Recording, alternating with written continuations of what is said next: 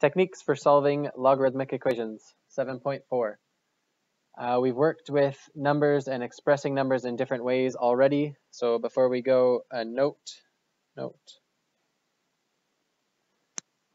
Any positive number can be expressed as a power or as a logarithm. So any positive number can be expressed as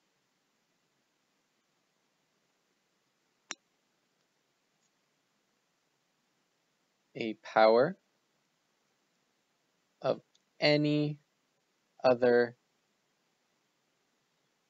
positive base I'm going to leave a little gap there to put a couple examples. Or a logarithm of any other positive base. For example, we could take the number 4 in order to express the 4 as a power, we could say that it's 4 to the power of 1. We can also say that it is 2 to the power of 2. It is also 16 to the power of a half. It is also equal to 10 to the power of the log of 4 there are several different ways that we could express 4 using powers. It is the it is equal to 10 to the power of the log of 4, because this would be a base 10, um, which would make, I'm not even, I'm not going to explain that because I'm not going to do a good job.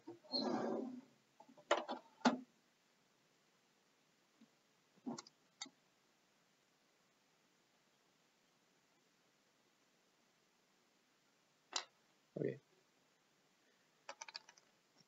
And we can also express any positive number as a logarithm. So 4 can also equal the log of 16 base 2 because 2 to the power of 4 is equal to 16. It can also equal the log of 81 base 3 basically any time that you need an exponent of 4 in order to get your base to equal your value here, then it's equivalent to 4. So another example is the common log of 10,000 because 10 to the power of 4 uh, equals 10,000. So 4 is the exponent that is required to get 10 equal to 10,000. So all different ways of writing uh, the same number. And this is very helpful when we're solving equations that involve exponents and logarithms. Okay, example one asks us to solve the log of x plus 4 equals 1. We're solving for x, and we're going to use two methods. So method one is algebraic reasoning. So if we have the log of x plus 4 equals 1, um, we can rewrite in exponential form using base 10. So this is the common log. So we can rewrite in exponential form. This is saying that 1 is the exponent that I need to raise the base 10 to in order to come up with x plus 4. So we're just rewriting, rewrite in exponent form. Well, 10 to the power of 1 is equal to 10. So all I really have to do is subtract 4 from both sides, which leaves me with x equals 6. And this is a little bit backwards. We can just rewrite it. x equals 6. The second method is to draw a graph of what's happening. So in order to draw a graph, we're going to uh, graph the left side and then um, and the right side and then see where they intersect.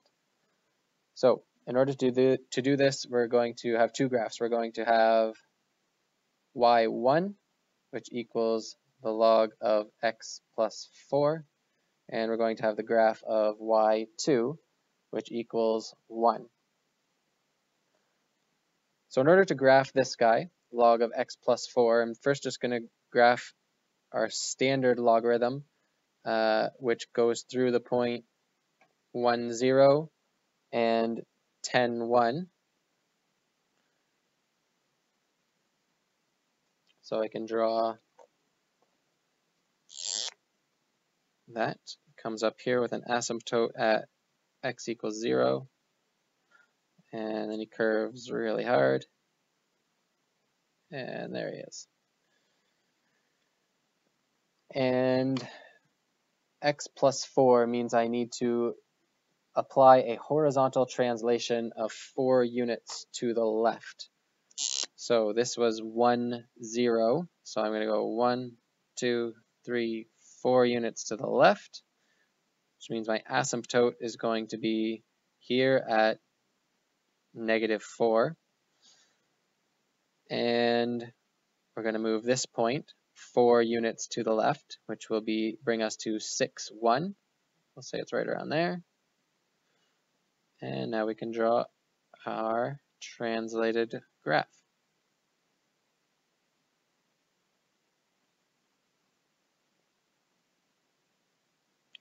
So this blue one is y1. I'll erase our first one there. Don't need it anymore. And then we also need the line y2 equals 1. So the point 1 here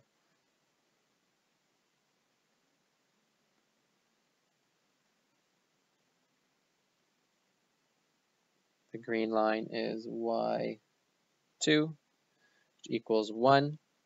You can write that y1 equals the log of x plus 4.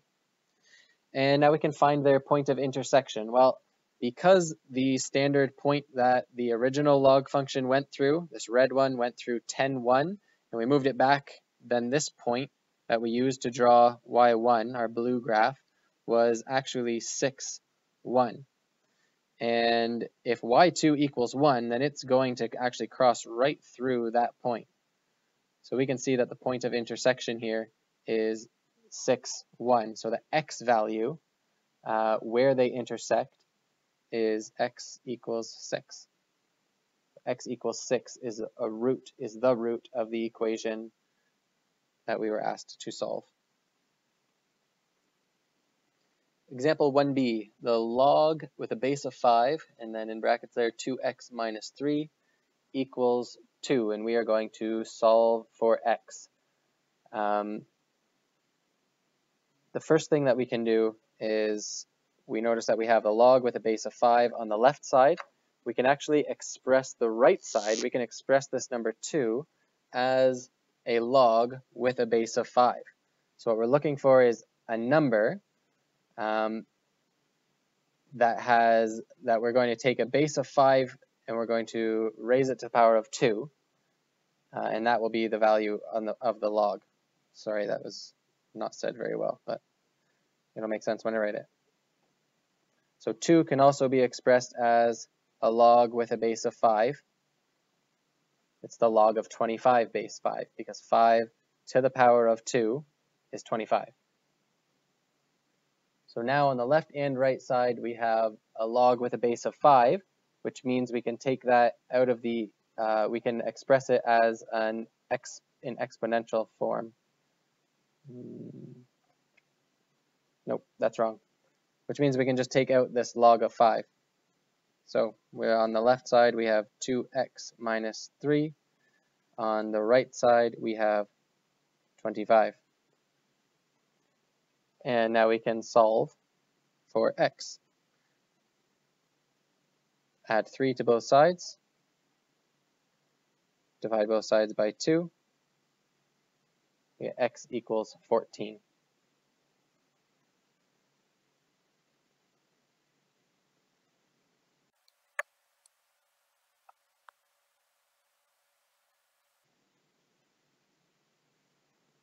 In example 2, we are going to apply factoring strategies to solve equations. So a gives us the log of x minus 1, it's common log with a base of 10, minus 1, is equal to negative the log of x plus 2. And our goal here is to solve for x. So the first thing that I want to do is isolate the logarithmic terms on one side of the equation. We are going to isolate log terms. So I'm going to add this right side to the left side, and I'm going to add 1 to both sides as well. So we're going to be left with log of x minus 1 plus log of x plus 2 is equal to 1. The next step is to apply the product rule of logarithms. The product law of logarithms says that if I'm adding two logs with the same base, then I can multiply those logs. So we have the log of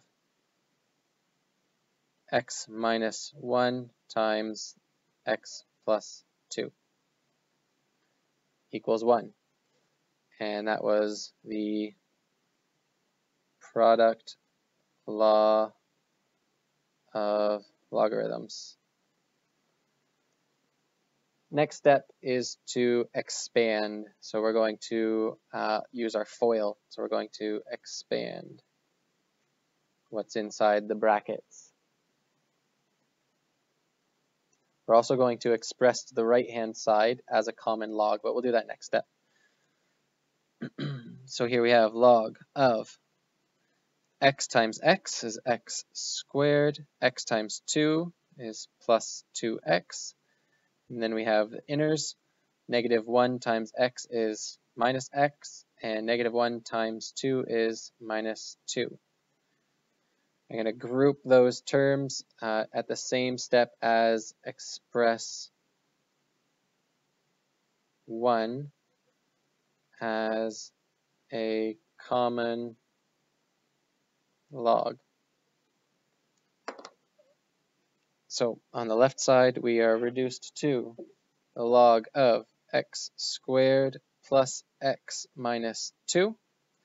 And on the right side, we have the log of 10. 10 to the power of 1 is 10. So 1 is equal to the log of 10. Uh, now that we have a log of the same base on both sides, I can simply take away that log function and we're left with x squared plus x minus 2 equals 10. I can express as a quadratic equation in standard form it's going to be our next step, express as quadratic equation.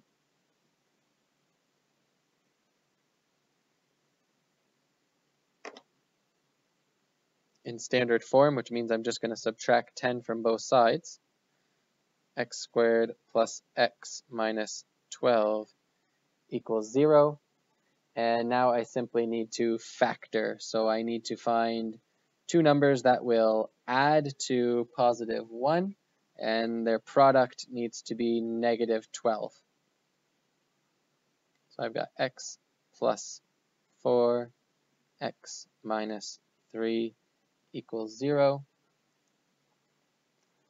which tells me that the roots of this equation are negative 4 or 3. So x equals negative 4 or x equals 3. And that is how to solve a logarithmic equation by applying factoring. Looking back at the original equation though, we are going to need to rule out one of these values of x because it will be an extraneous root. It will be undefined. So if we were to put negative 4 into either this first log or the second log actually, the log would be undefined. We can't take the log of a negative number. So x minus 4 is out, and the only solution is x minus 3.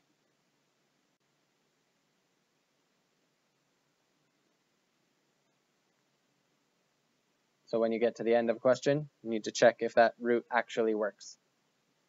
So if it's the log of a negative number, it won't work.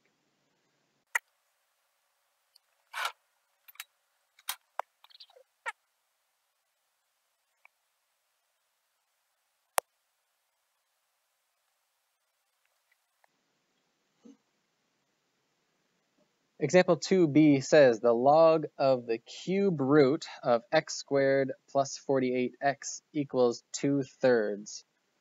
The first thing I want to do here is get rid of that cube root. So I'm going to express it as an exponent. I'm going to express this cube root as an exponent. So this is the log of x squared plus 48x to the power of 1 over 3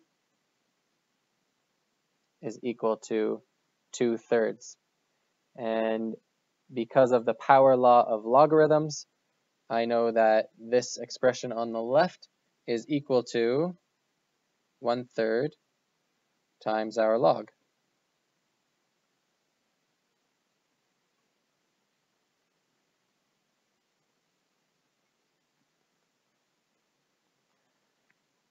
Now I can multiply both sides by 3. I see that that will get rid of my denominator. So I can multiply both sides by 3, leaving me with log of x squared plus 48x equals 2. And now I want to use my the fact that I can express this number 2 as a log with a common base. See if you can figure out what the log is going to look like on this side.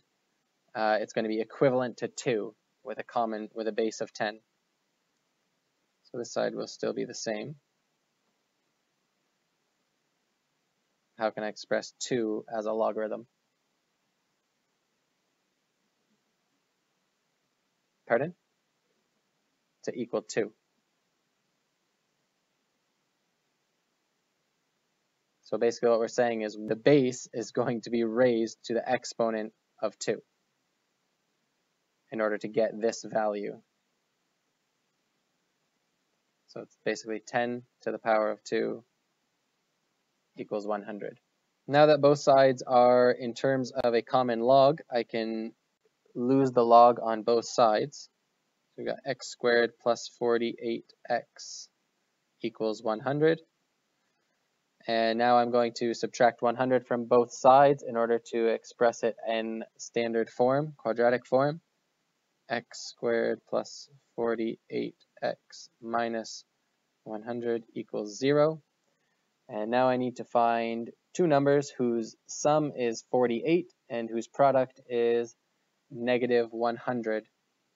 And those two numbers are positive 50 and negative 2 of x plus 50, x minus 2 equals 0, which means x equals negative 50 or x equals 2.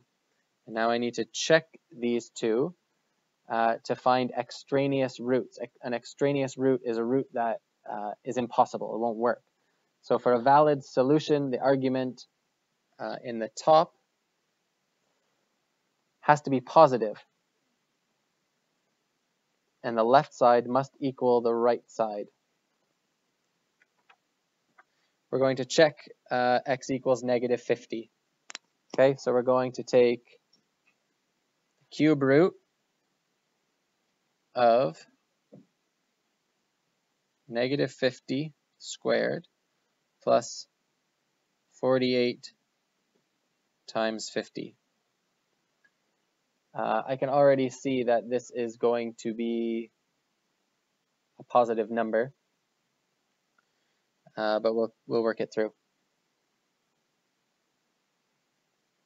So this is equal to the cube root of 50 squared is 2500. 48 times 50 uh, is 2500 minus 100. so it's 2400, which equals the cube root of 100. Now this is a positive number. This is all good. Uh, then we need to check what happens when x equals 2. So when x equals 2, we have the cube root of 2 squared plus 48 times 2, which equals cube root of 4 plus 96, which equals cube root of 100. It's good.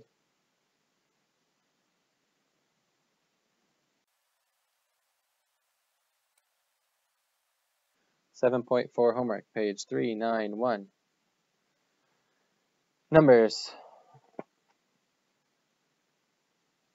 one through three, five, six, and ten.